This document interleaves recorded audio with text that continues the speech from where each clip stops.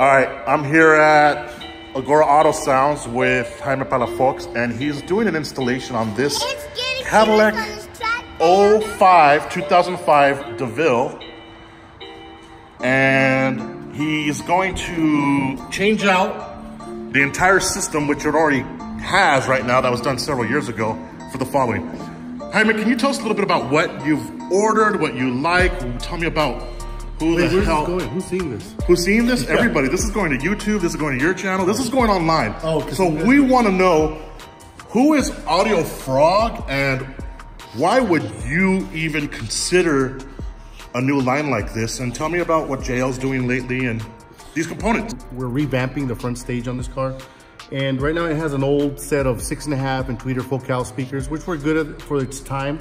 Um, so now we're going with something a little bit different. We're gonna do a three-way active set. Those were run passive, meaning that they use the crossover that comes with the speakers. These we're gonna run through a processor, which is built into the amplifier, which is a JL piece.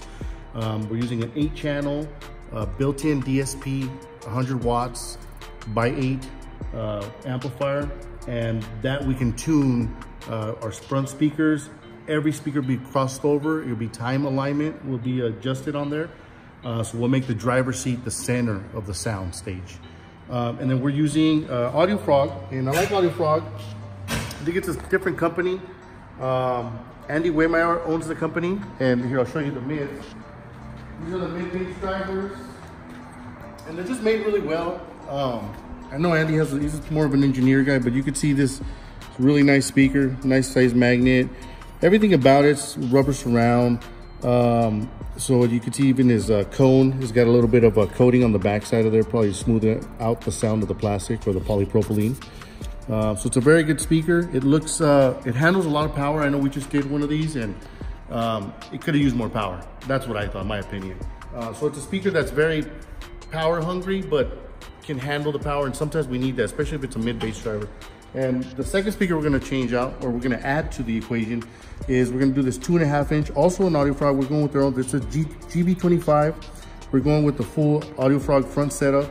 And this I have not heard, this is my first time, but this is, I've never seen a speaker like this, so I just thought it was really incredible that we try something so small. And I, am mainly doing it because of the uh, the size, the fitment of it.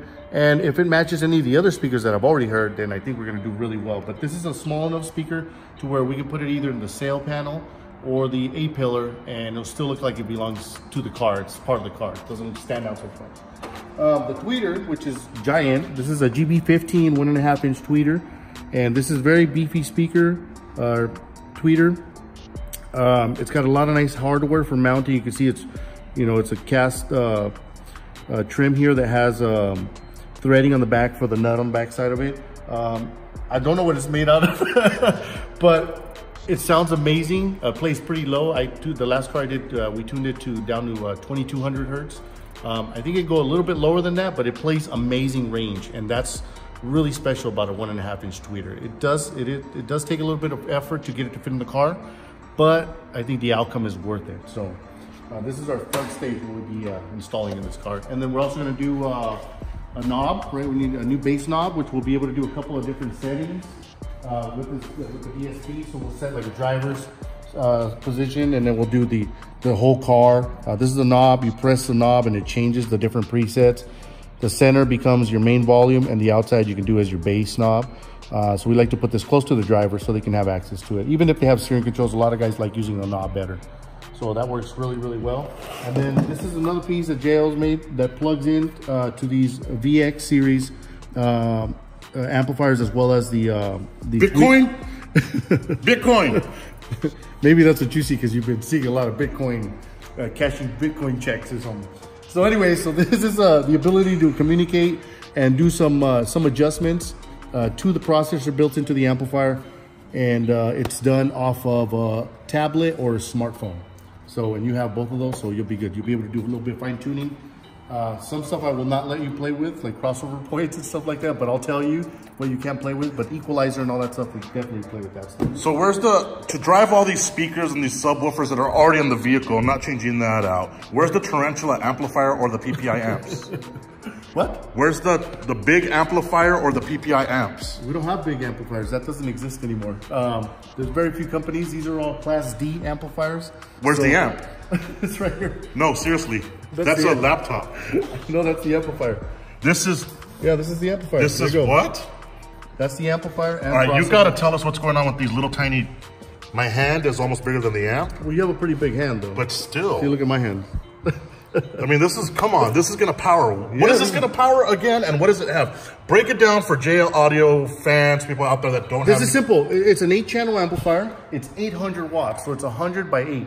So this is going to power eight speakers, two tweeters on the dash, two mid-range on the sail panels, uh, two mid-bass drivers in the doors, and then the rear doors will be powered off of that. So eight speakers total. Will run, and it'll do 100 watts per speaker. Very simple. in that little thing. In this little casing, and it has a processor built in.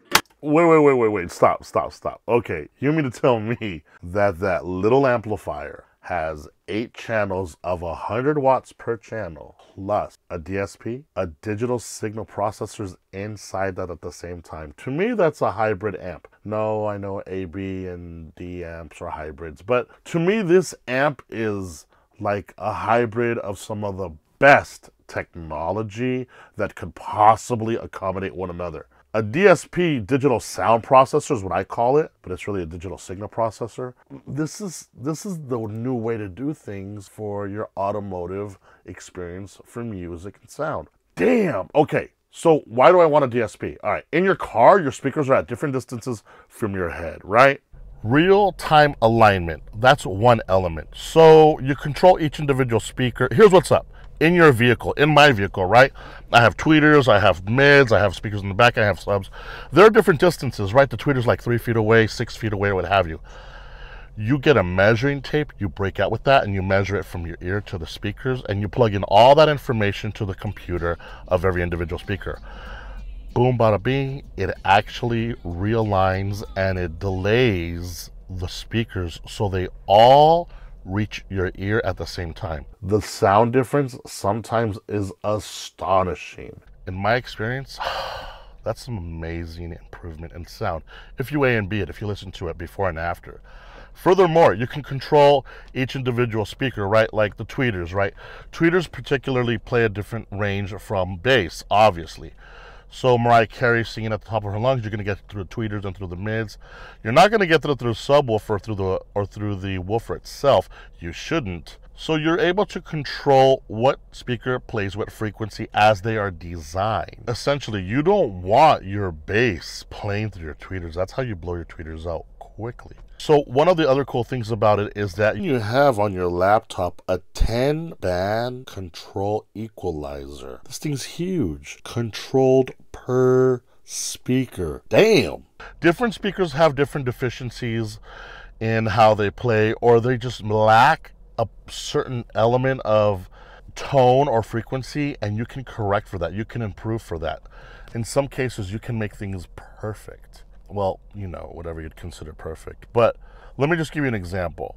For me, I like to have my speakers and my audio coming from the front stage, and I can control per increment in decibel my back speakers from my my door speakers from my tweeters and so on and so forth this is just some of the power and the elements that a dsp does for you i'm taking too much time on this let's get back to the video but believe you me the fact that JL Audio and, and many brands are doing this, not just JL. Audio brands are putting amplifiers with DSPs all into one unit. That's a killer instrument right there in itself. That unit right there is mind blowing. And I think there's not enough information out there on this, and not enough people know about it. That's just my opinion. Let's get back to the video.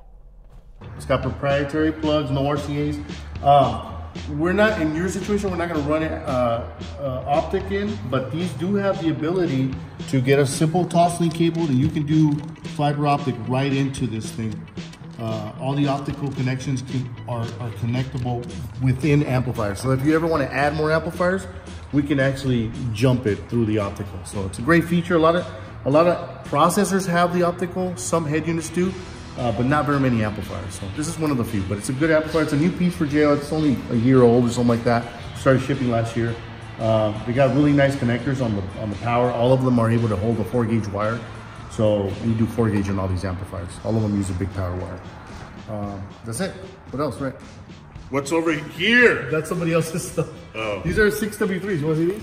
Yeah, what's the 6W3? Maybe maybe So this this- vehicle needs one of these. No, this is a cool, uh, cool little driver that I use. Um, and I actually build, I do these on golf carts, uh, Harley Davidsons. I've even done them in a couple of uh, Silverados, um, standard cab Silverados. And I kind of like that wow factor. So this is a six inch, Wow.